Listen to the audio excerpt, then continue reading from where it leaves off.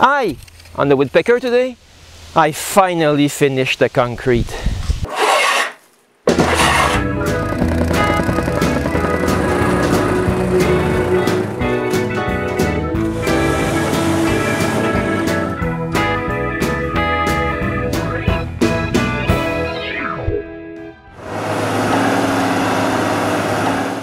Up until now, I had the yard dug up and the footing poured. And so were the concrete walls.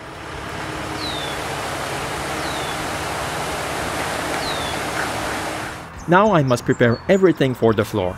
The first thing to do is to remove 2 feet of sand inside the structure around the walls. This way, I'll be able to compact the sand deeper. We had so much fun that we decided to also dig up the dust extractors, pipes, ditches. When everything was dug up, I rented a jumping jack and compact the soil. René's job was to wet the sand to ease the compacting. And my job was compacting.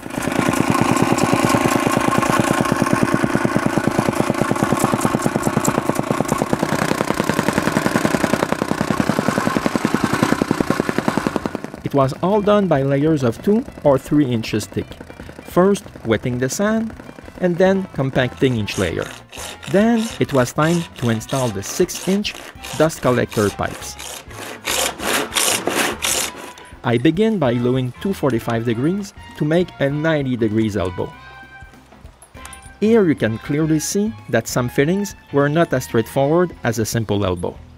Okay, this one was the most complex. Then all the pipes were glued in place.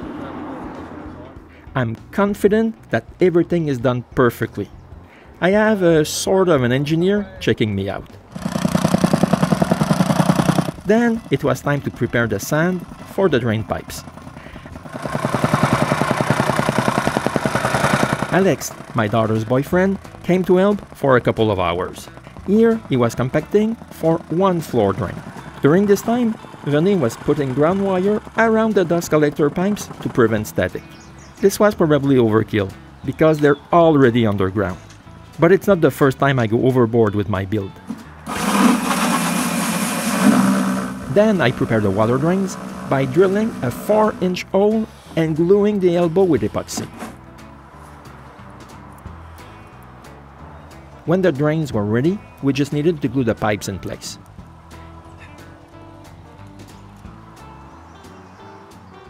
In the end, the right side looked like this with all the pipes.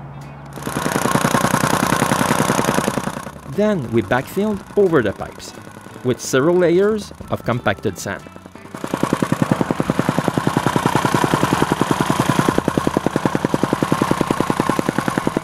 When it was done, we noticed that we had way too much sand inside. So we shoveled it all out.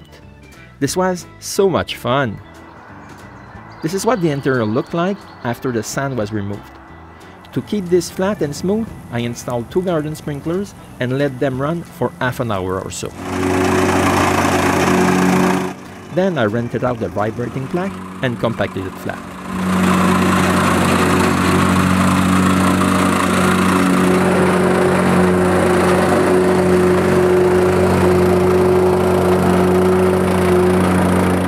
We checked that it was even all the way, adjusted the bumps and valleys, and recompacted it.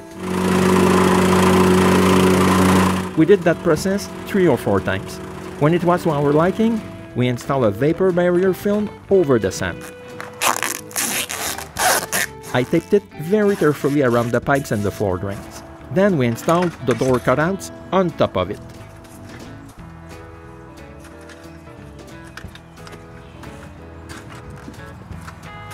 Again, the door cutouts were cut with a metal cutting blade.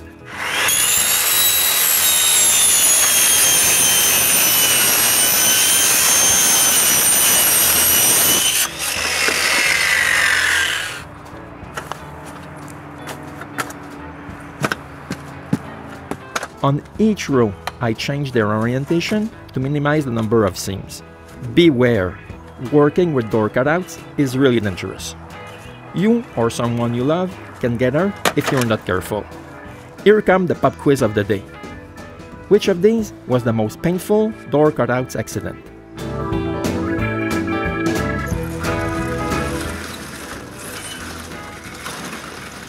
The next morning, we installed the concrete wire mesh.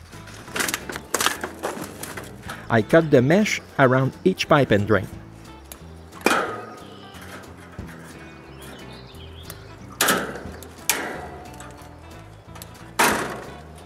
Then they were tied together with small pieces of wire. The last thing to do was to put some 2x8s in front of both door openings. Finally, we covered the old shop with this big 40 by 60 feet tarp. Then the rain began and it poured cats and dogs for the rest of the day and night. The next morning, I was very happy we had put this huge tarp over it. Otherwise, it would have been hell to get rid of the water between the vapor barrier and the door cutouts. We ended up pumping out over 3 inches of water, and this took more than an hour. Then we were ready for the concrete floor.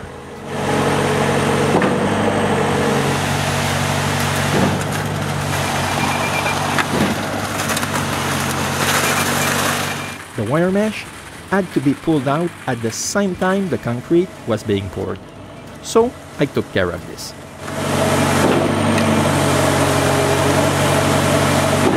This way, a real pro had time to flatten the concrete.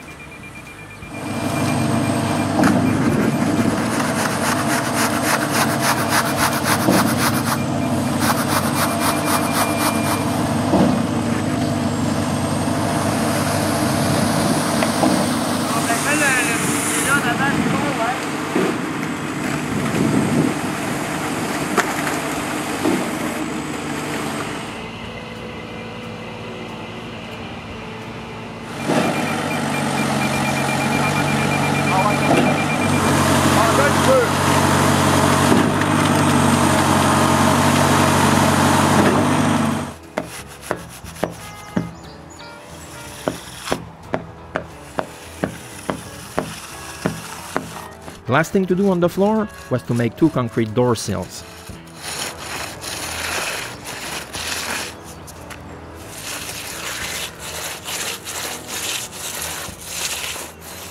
That's the floor, just after it was finished. When the concrete was hard enough, I kept it wet for more than 24 hours. After a while, I was fed up of using a garden gun, so I used my two garden sprinklers. Finally, the concrete work is over. I can finally start on the real work, the woodworking part. So I invite you to come back to my next episode where I'll be making sawdust on the woodpecker.